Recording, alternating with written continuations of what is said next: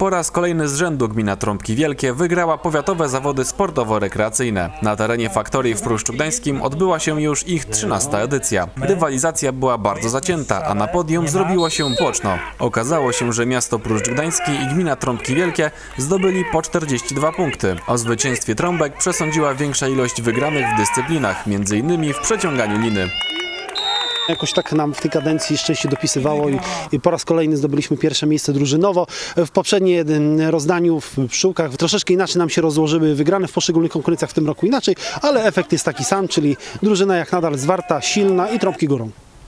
Zgodnie z regulaminem imprezy zwycięzca przyszłe rozgrywki organizuje na swoim terenie. W związku z tym za rok zapraszamy do trąbek. Polecamy również zobaczyć trąbki wielkie wygrały w turnieju samorządowców oraz inne najciekawsze wydarzenia z regionu. Szukaj nas na Facebooku, oglądaj na www.północna.tv i nie zapomnij polubić kanału.